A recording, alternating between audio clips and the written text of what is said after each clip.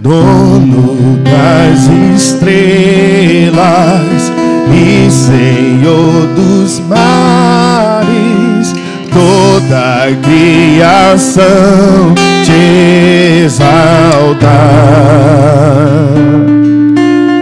Grandes e pequenos, reis e poderosos hão de confessar teu nome. Querubins aos teus pés se prostram.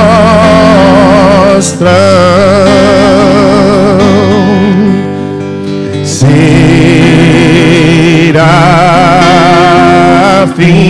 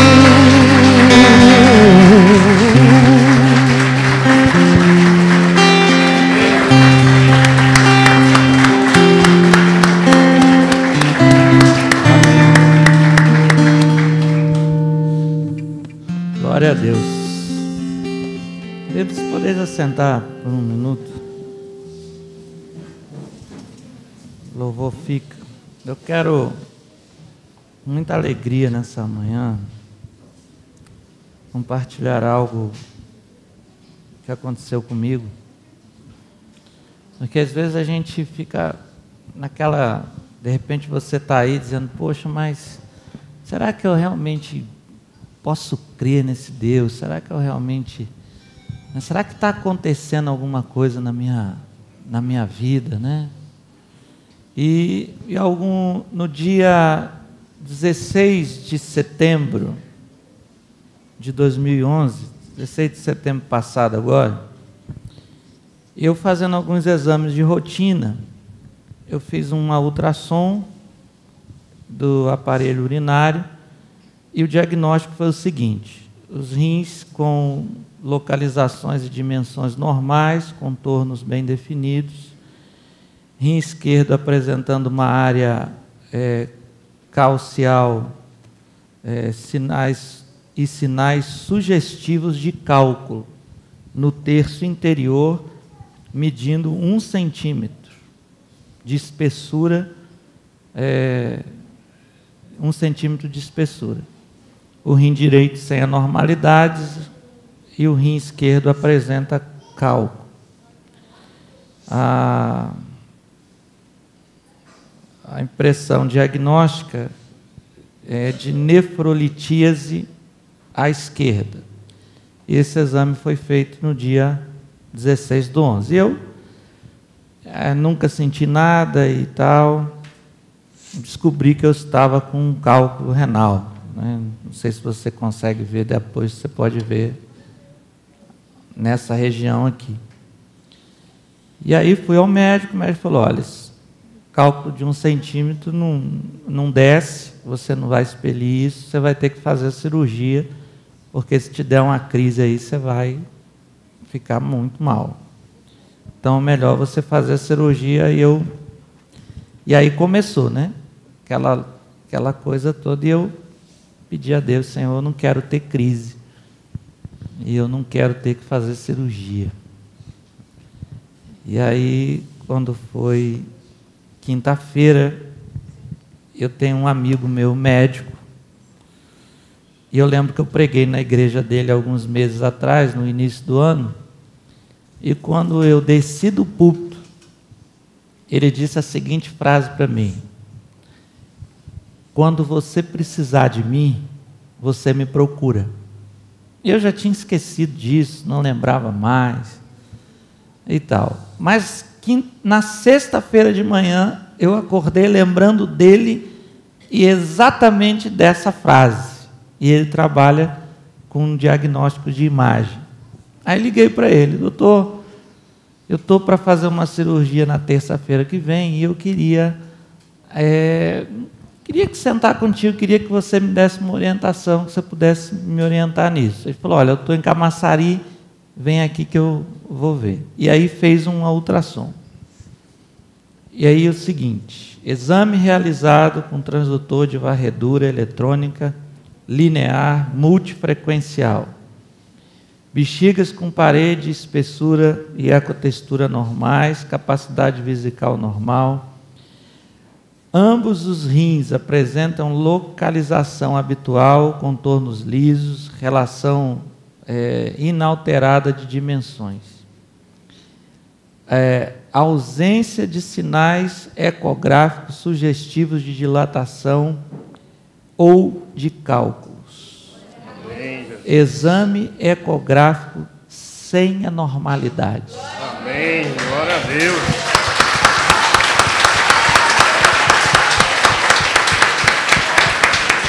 Ah, Deus surpreende a gente, na é verdade.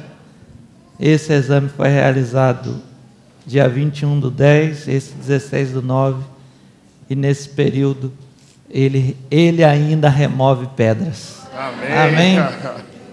Então eu queria muito compartilhar isso com a igreja, porque eu sei que tem pessoas aqui que oraram verdadeiramente por mim, né? oraram pela minha vida e, eu, e Deus ouviu as nossas orações. Amém. E ele, eu virei para ele e falei, doutor, mas não tem nada. Ele falou, rapaz, você não está acreditando, né?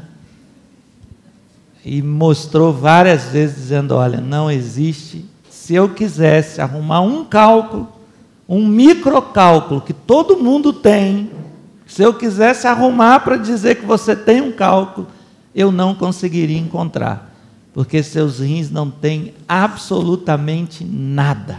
Amém.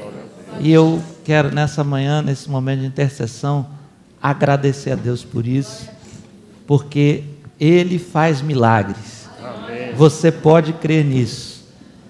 E Ele remove pedras. E Ele faz o milagre acontecer na vida da gente. E vai fazer na sua também. Então eu queria que você nesta manhã, agora enquanto nós adoramos a Deus, você saísse do teu lugar e viesse orar no altar do Senhor, como eu fiz todos esses dias. Orar, orei a Deus. E enquanto todo mundo dizia, olha, você vai ter uma crise a qualquer momento, eu dizia para Deus, Senhor, eu não quero ter nada e eu descobri uma coisa muito linda nesse, nesse período.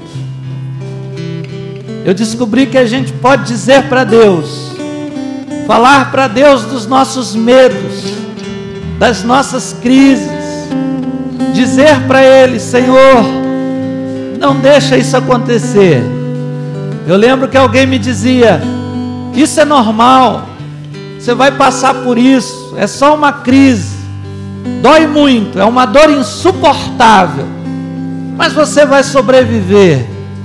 E durante todo o tempo eu dizia para Deus: Senhor, eu não quero ter uma crise. Em momento nenhum eu pedi a Deus, me ajuda a passar pela crise. Eu pedi a Deus, não me deixa tê-la. Então fecha os teus olhos nessa manhã. Começa a pedir a Deus, Senhor, não me deixa passar por isso. Não me deixa enfrentar tal situação. Eu sei que tu podes me curar, porque tu é um Deus que faz milagres ainda nos dias de hoje. Tu é um Deus que faz milagres. E eu creio, queridos, que Deus quer fazer um milagre na tua vida. Basta você se colocar na presença dEle e dizer para Ele, com toda a sinceridade do teu coração: Deus, não me deixa passar por isso, me ajuda segura nas mãos de Deus, porque eu tenho certeza que Ele está segurando na tua. Enquanto o ministério de louvor adora, ore, abra os teus lábios e fale com Deus, porque Ele está aqui na bênção desta comunhão pela manhã, para te curar, para te ensinar, para te libertar e para te restaurar. Eu preciso aprender um pouco aqui. Eu preciso aprender um pouco ali. Eu preciso aprender mais de Deus. Porque Ele é quem cuida de mim. Como cuida? Se uma porta se fecha aqui. Oh Deus outras portas se abrem ali. Eu preciso aprender mais de Deus, porque Ele é quem cuida de mim. Deus cuida de mim. Glória a Deus, que Ele cuida de cada um de nós. Deus cuida de mim. Diga isso. Na sombra das tuas asas. Você pode cantar isso como a sua oração. Eu amo a sua casa e não ando sozinho.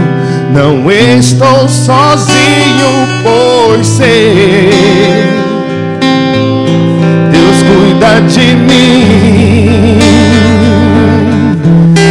Deus cuida de mim nas sombras das tuas asas. Deus cuida de mim. Eu amo a sua casa e não ando sozinho. Não estou sozinho, pois sei. Deus cuida de mim. Aleluia, Senhor. É nessa certeza que nesta manhã oramos, de que o Senhor cuida de cada um de nós, e que o Senhor está conosco todos os dias, em todos os momentos da nossa vida, nos momentos de luta, nos momentos de dor, de tristeza. Mas o Senhor também é o Deus que pode mudar toda e qualquer situação. Eu quero te agradecer, ó Deus, porque diante da tua igreja, com o milagre nas mãos, falado pelos homens, comprovado pelos homens, ó Deus, que o Senhor cura, que o Senhor cuida, diante da tua igreja, eu te louvo, eu te agradeço, porque, ó Deus, eu te peço nesta manhã, vai tirando o conformismo do nosso coração, o conformismo de achar que nós podemos passar por determinadas situações quando na realidade não podemos. Vai operando nas nossas vidas, impedindo o mal, Senhor, impedindo a dor, tirando, Senhor, do nosso meio aquilo que não suportamos. Cuida, Senhor, dos teus filhos nesta manhã. Ouve, ó Deus, os pedidos de oração que estão sendo levantados nesta casa porque tu tens operado neste lugar, tu tens curado pessoas, tu tens libertado pessoas, Senhor. Basta a gente crer, basta, Senhor, a tua igreja exercitar a fé, como foi lido aqui nesta manhã, como um firme fundamento para todas as coisas. Nos ajuda Visita cada pessoa que está neste altar nesta manhã e que possamos sair daqui crendo, crendo que o Senhor pode mudar toda e qualquer situação, mesmo aquelas mais difíceis, ó Pai, porque Tu é Deus e o Senhor surpreende até mesmo aquele que é alvo dos Teus milagres. O Senhor nos surpreende.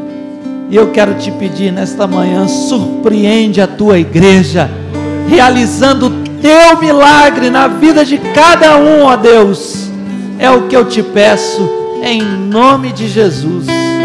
Amém. Dê um abraço no seu irmão, diga para ele: olha, vale a pena crer nesse Deus. É preciso tomar a decisão eu sei que existe alguém que me ama. Ele quer me dar as mãos. Se uma porta se fecha aqui, outras portas se abrem ali. Eu preciso aprender mais de Deus, porque Ele é quem cuida de mim. De mim. Oh Deus, cuida de mim. Na sombra das suas asas, Deus cuida de mim. Eu amo a sua casa e não ando sozinho, não estou sozinho, pois sei cuida de mim. Deus cuida de mim. Nas sombras das suas asas, Deus cuida de mim. Eu amo a sua casa e não ando sozinho, não estou sozinho, pois sei Deus cuida de mim. Oh Deus, Deus cuida de mim. Deus, Deus cuida de nós. Deus cuida de mim. Você pode dar uma salva de palmas assim. Obrigado, Senhor. Você pode exaltar o nome do Senhor. Dizer eu te agradeço, Senhor, porque tens cuidado de mim, Pai. Obrigado, Senhor. Aleluia. Glória ao teu santo nome, Pai. Tu és o único, Senhor. Glória a Deus. Glória a Deus. Você já falou com o seu irmão que está aí do seu lado? Disse assim: Você já ouviu? Você ouviu o que o louvor falou ali? Você viu que a palavra tem falado aos nossos corações? Deus cuida de você. Fale para ele aí, vá. Amém? E nessa mesma alegria você vai trazer seu dízimo, sua oferta, vai falar com seu irmão que está do outro lado que você quer falar, que eu sei. Dê uma olhadinha a vocês que estão aqui, para os irmãos que estão de lá, eu de cá para o outro lado aí. Dê uma olhadinha aí. Tem um irmão do outro lado que quer falar com você. E você vai sair agora do seu lugar e dizer assim: Eu te agradeço, Deus, por tudo isso. E muito mais. Porque Ele faz muito mais do que pedimos ou pensamos. Amém? Glória a Deus. Você vai trazer seu dízimo com, com alegria. Eu te agradeço, Deus, por se lembrar de mim e pelo teu favor. É o que me faz crescer. Eu vivo pela fé e não vacilo. Eu não paro, eu não desisto. Eu sou de Deus, eu sou de Cristo.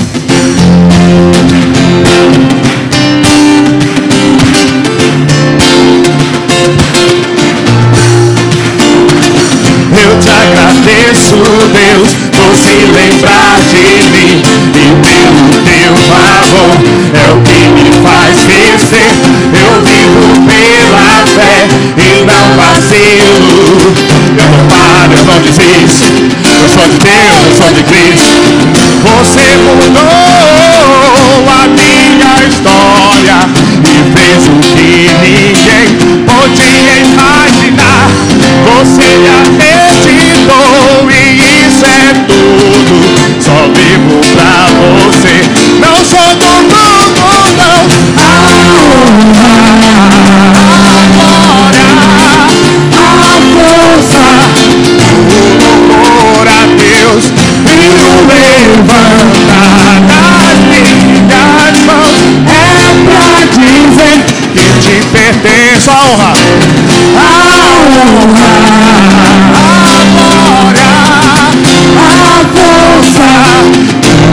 o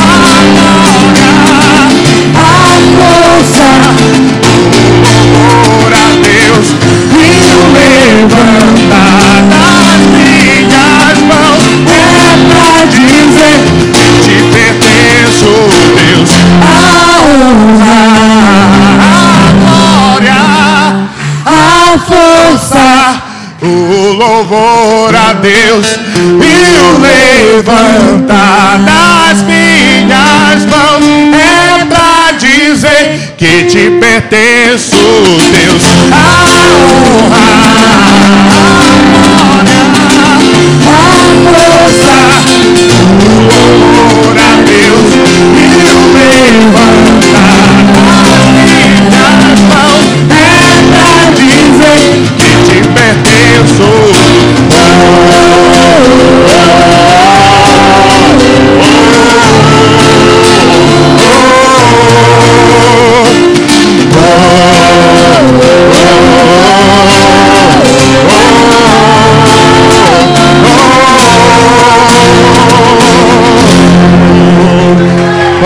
Deus. Aleluia. Amém. Amém. Glória a Deus.